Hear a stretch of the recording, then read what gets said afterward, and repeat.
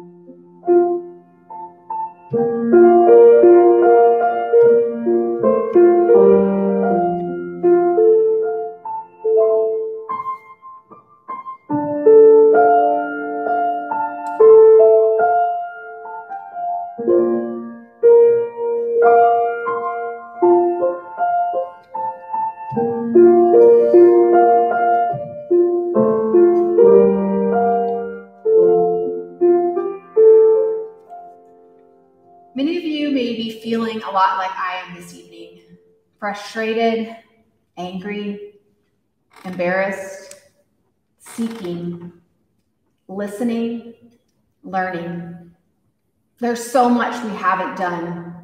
So many times we've looked the other way. We've participated and benefited from a system that was built on inequity. There's so much that needs to change. Fortunately, we serve a God who is with us in our pursuits of justice. Um, for those of you who are still with us, uh, I thought I would go ahead and jump right into the reflection that I have. Um, and so, if you would join um, me in opening your heart to this reading from Psalm 51. Have mercy on me, O God, according to your steadfast love. According to your abundant mercy, blot out my transgressions. Wash me thoroughly from my iniquity and cleanse me from my sin. For I know my transgressions, and my sin is ever before me. Against you, you alone, have I sinned and done what is evil in your sight, so that you are justified in your sentence and blameless when you pass judgment. Indeed, I was born guilty, a sinner, when my mother conceived me. You desire truth in the inward being. Therefore, teach me wisdom in my secret heart. Purge me with hyssop, and I shall be clean. Wash me, and I shall be cleaner than snow. Let me hear joy and gladness. Let the bones that you have crushed rejoice. Hide your face from my sin and blot out all of my iniquities. Create in me a clean heart, O God, and put a new and right spirit within me. Do not cast me away from your presence, and do not take your Holy Spirit from me. Restore to me the joy of your salvation, and sustain in me a willing spirit. So when I was in high school, I got to be part of this student group um, called Honor Guards. I think it was invented so that the non-athletic people like myself and the other non-football playing cool kids could have something to do on Friday nights. Mainly our job was to dress up in crisp khakis and long sleeve button-ups and matching ties while we carried water coolers and equipment and other much needed accessories for our school's dance team. It's also one of the earliest times that I can recall being a willing racist. And let me be frank with you from the outset. Talking about racism for me is a very complex thing. I'm very proud of my heritage as a Mexican man. But I readily admit that I am drenched in and propped up by white privilege based entirely on the fact that my dad is white and that my skin is light enough to let me pass. And I admit that I have readily benefited from every and all advantage of being so one of the perks of being an honor guard was having an all-access pass to be able to walk up and down the sidelines during the games. In fact, being down in the field is uh, in front of everybody in this packed Lufkin Panther Stadium was part of the glitz and glam that caught my attention when I was little. Uh, so for me, small town Lufkin boy as I was, this was sort of a small town dream come true. It was a bit of a stamp of approval as existing at the top of the social echelon. And like what happens with Texas football, there were a couple of occasions in which our high school took to the field against other high schools that came from predominantly black communities. Which means that the student body, fans, and other aspects of their Friday night presence were black. On those nights when the skin of the boys were darker, were a darker complexion, complexion than we, there were a couple of times when I stood silently by while my popular non-football playing compadres hurled racial insults and slurs at the players from the other team in that brief moment that's quiet right before the ball is snapped. And no, I never used those words myself. I was a good Christian boy, and my mom taught me to be better than that. But I stood there, muted, too worried that they wouldn't let me stay in their little group if I said something. I said, my story is a little more complex than that. There was another occasion, maybe this time against a team whose skin color was a bit more to our liking because out of boredom, I guess, the conversation turned a bit more internal and personal amongst us all. Because one of my friends, one that I had played baseball with since I was five years old, turned to me and in front of all the other honor guards, asked me this question Hey, Slack. So if your mom is a Mexican and your dad is a redneck, what does that make you? And I'll spare you the good old boy banter that followed. But together we all came to the conclusion that since my mama was a wetback and my daddy was a redneck cracker, that I should be classified as a soggy cracker. And we all laughed. All. And the nickname stuck for a few hours, and we all happily ignored happily and ignorantly celebrated the ongoing oppression of my own brown brothers and sisters. Oppression that is happening at the hands of people who look just like me. Friends, you have no idea how ashamed I am to tell that story. I am ashamed of the piss poor witness that I have been for my people for so long because I've been too scared to get out from behind the comfortable shield of my own white privilege. Because if I'm honest and if I'm frank with all of you who are watching right now, my guess is predominantly you are white. But let's be honest. As a white man, I am everywhere I look. I'm on television, I'm in positions of power, I'm behind pulpits, and I'm at the top of every massive institution that wields power our world. What I look like is the standard by which all other persons in this world are measured. And who am I to be that kind of standard? I've done nothing to deserve that sort of status except having a skin pigmentation, a sexual orientation, and a gender identity that has served me like a never ending hall pass. For some reason, I and many of you with us right now sit at the center of the universe. And let me tell you how I know this is the case. You know how when people tell you that they went to see a woman doctor, but then they'll just say that they went to see a doctor? Or like when people will tell you that they have a gay coworker, but then they'll just tell you that they have a coworker. Or when people suddenly drop into a conversation, something about how they were having a conversation with their black friend. But other times they'll just say they were talking to a friend. And then there's the fact that at colleges all over our country, courses that don't have the word woman or gay or minority in their titles are courses that center the narratives of heterosexual white men.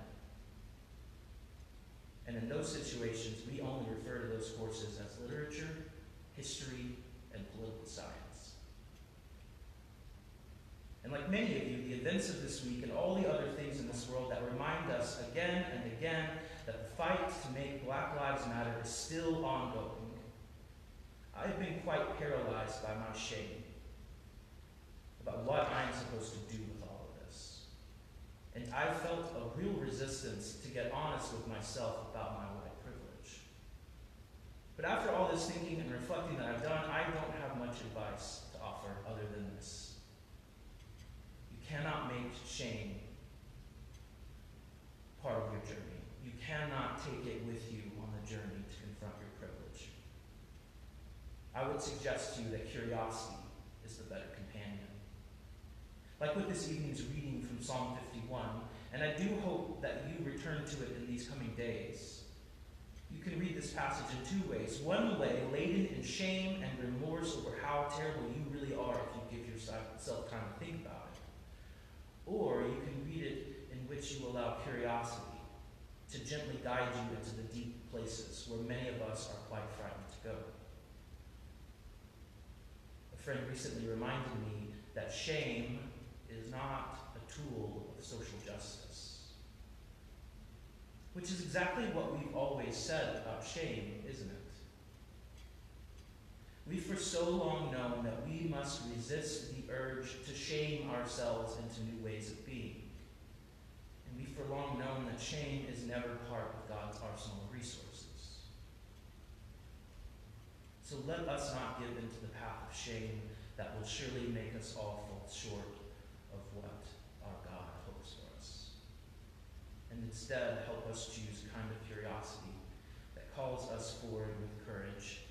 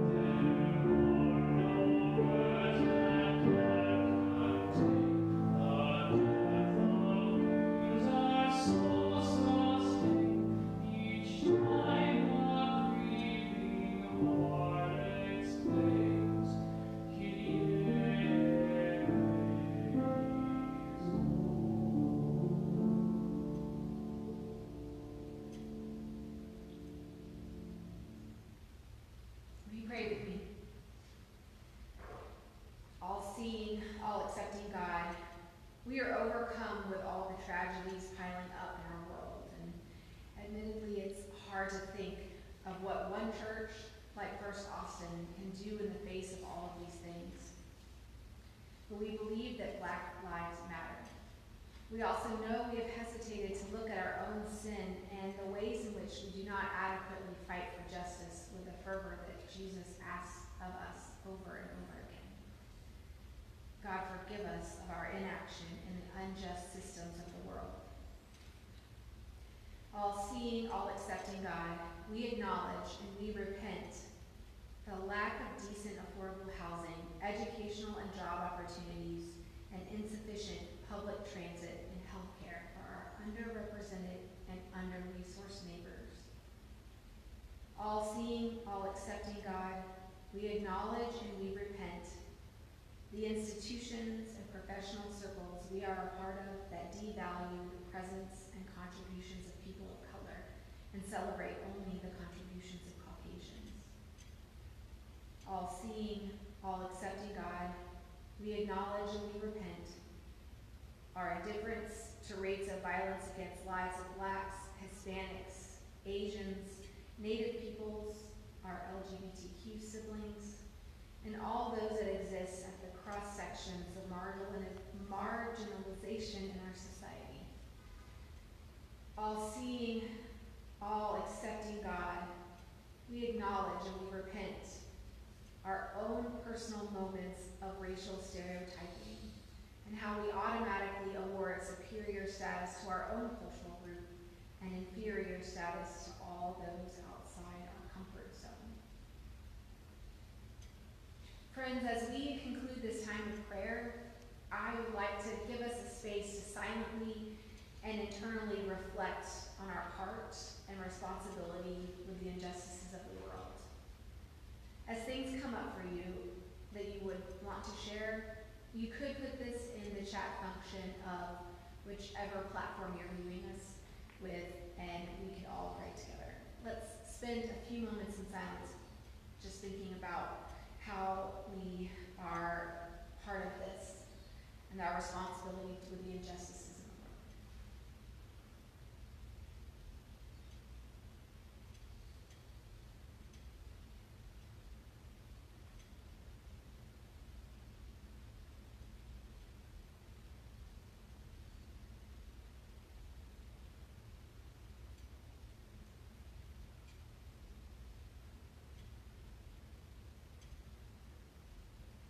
All seeing, all accepting God, the gift of being honest with you about our sin and not finding ourselves forsaken by you is a gift we seldom celebrate.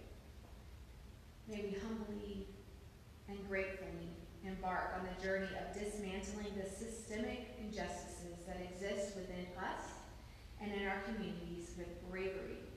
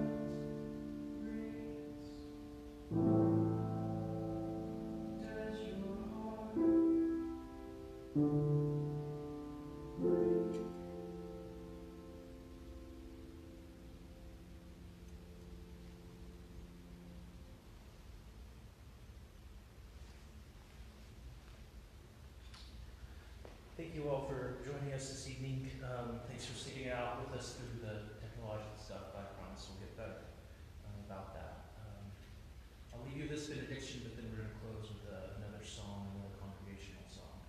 Um, but may you resist the urge to follow